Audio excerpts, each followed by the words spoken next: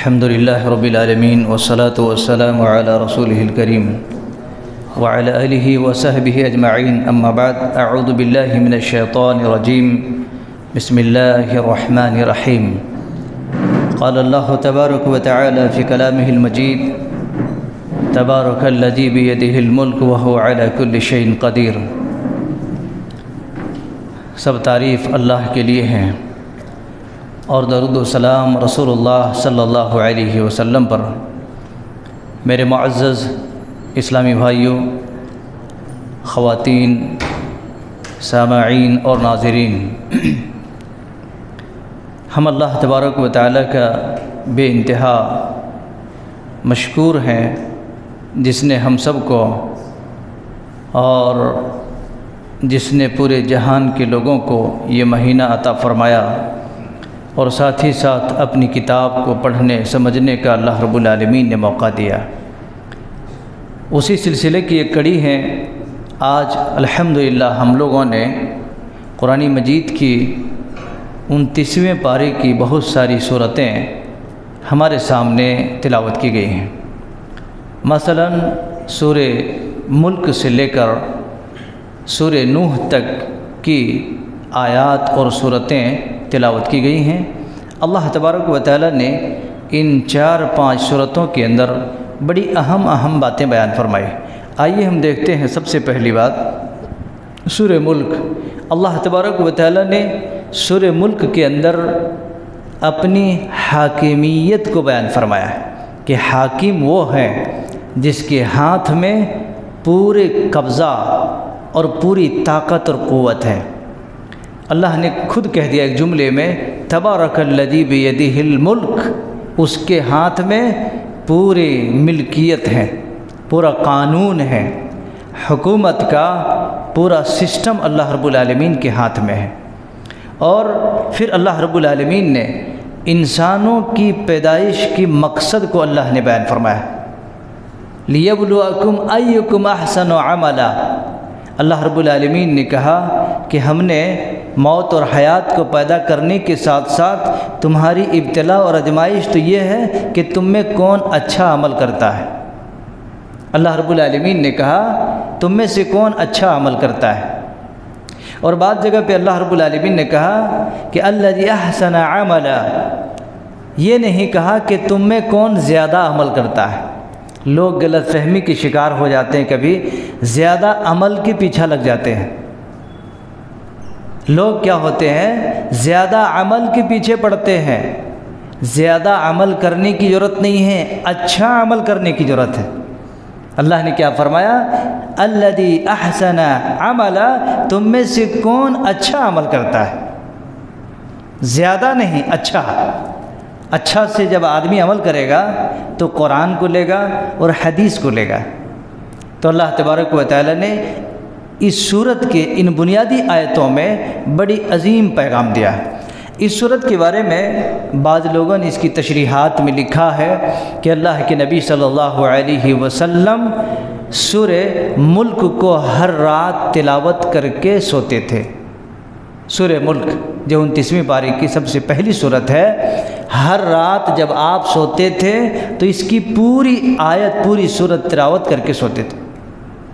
और ये भी कहा गया है कि जो आदमी सूर मुल्क के ऊपर मुकम्मल तौर से पाबंदी करता और उसको पढ़ता है तो अल्लाह रब्बुल आलमीन उसको कब्र के अजाब से भी बचाएगा।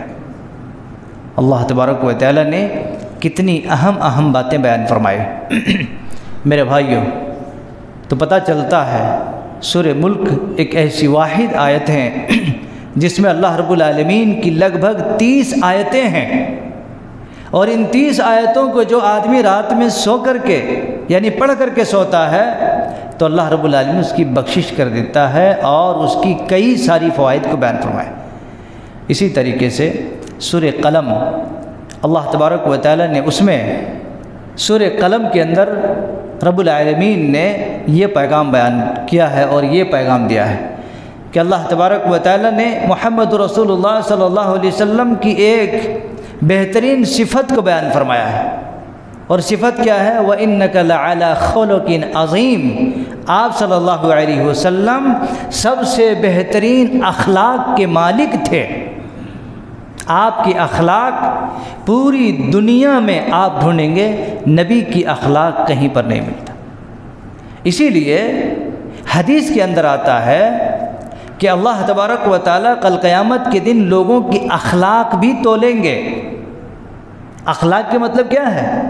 आदमी अच्छी तरीके से पेश आए, अच्छी बातें करे, बड़े छोटों की इज़्ज़त करे, सामने वालों का एहतराम करे तकबर से, बुराई से, इन तमाम चीज़ों से बचे तो अच्छे अखलाक का हामिल एक इंसान की पहचान है, एक मर्द मोमिन की जान है मेरे भाई। इसलिए अल्लाह तबारक व ताली ने नबी के उस अखलाक को बयान फरमाया। चलते हुए हम और एक चीज़ के बारे में जान लेते हैं। कभी कभी क्या होता है, बाप और माँ बड़े नेक होते हैं, लेकिन बच्चे क्या समझते हैं, अरे हमारे माँ बाप तो पागल हैं। बच्चे क्या समझते हैं, हमारे माँ बाप पागल हैं। पागल नहीं, वो नेक होते हैं।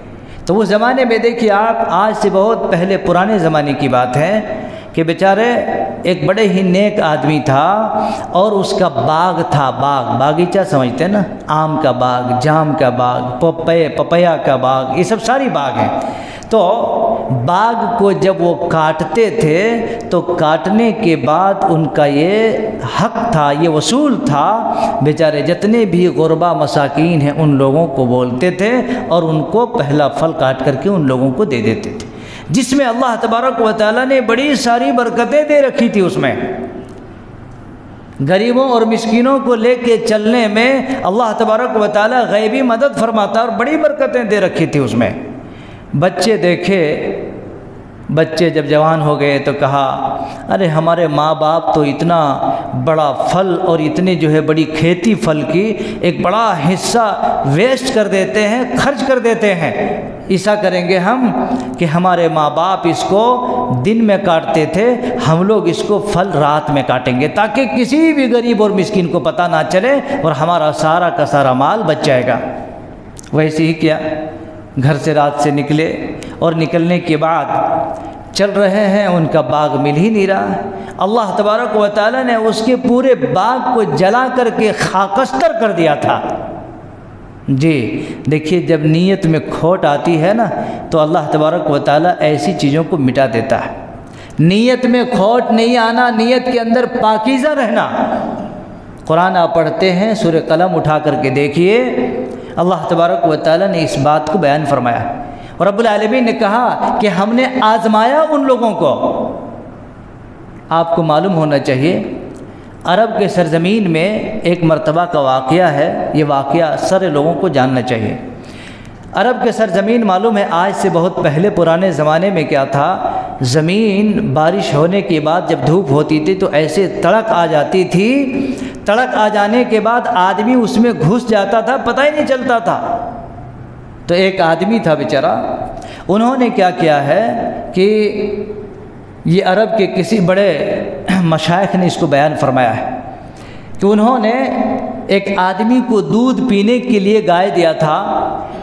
तो बेचारे जब तक वो दूध पीता रहा पीता रहा पीता रहा तो जो आदमी दिया था, एक मरतबा आजमाइश में आ गया कि ऐसे ज़मीन पे वो चल रहा था कि चलने के बाद उस तड़क में, उस शेगाप में घुस गया, किसी को पता नहीं। लोग समझने लगे घर वाले कहाँ चले गए?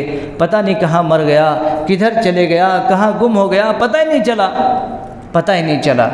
लेकिन ये अल्लाह रब्बुल की आजमाइश थी, जैसा कि बाग वाले की आजमाइश थी। तो गाय दिया था वो आदमी जो दूध पी रहा था, पीते चले गया, पीते चले गया।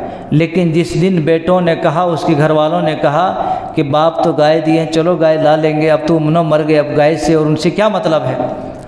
मेरे भाइयों, जिस दिन वो वापस ले लिए, उस दिन उस शेगाफ से, यानी तकरीबन महीनों हो गया, और वहाँ से वो निकल करके आए। तब लोगों को बताया था उन्होंने कि मैं इस तरीके से वहाँ पर क्या खा रहा था और क्या पी रहा था?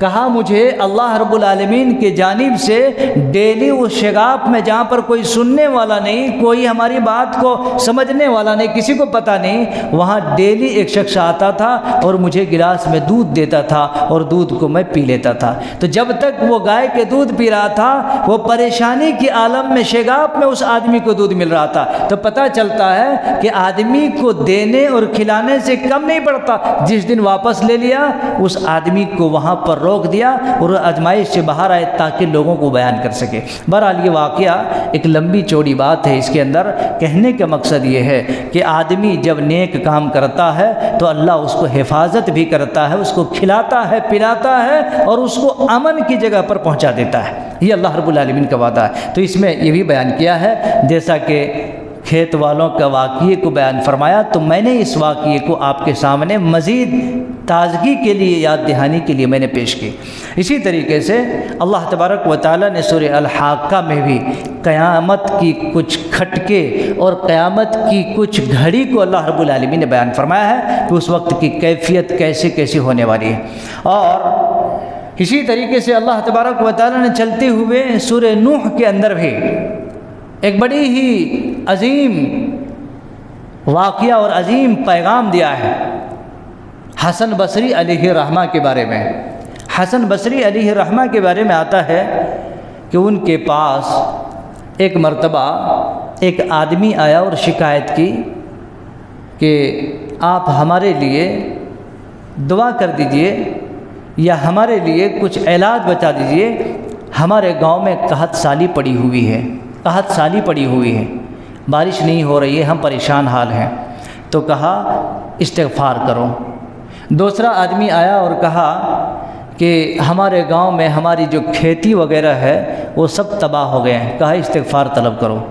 तीसरा आदमी आया और कहा, इसी तरीके से, बारिश नहीं हो रही है, ज़रा आप दुआ करो। कहा कि आप भी इस्तफ़ार करो। चौथा आदमी आया और कहा कि हमारे घर में तो औलाद ही नहीं है, हम क्या करें? तो कहा इस्तफ़ार करो। तो लोग समझते गए, ये कैसे डॉक्टर हैं, कैसे हकीम हैं? चार सवाल आए और चारों सवालों का जवाब इन्होंने यही दिया कि इस्तफ़ार करो। कहा, भाई, मैं नहीं दिया, अल्लाह ने दिया है। अल्लाह ने दिया है ये चीज़ को। तो सूर नूह के अंदर अल्लाह रब्बुल ने इस चीज़ को बयान फरमाया है, फ़कुल तुस्तफ़िर रबकुम इन हुकान गफ़ारा युरसलकुम मिदरारा। वयुम दिदकुम बेअमवाल व बनीन वजालकुम जन्नत वजालकुम अनहारा।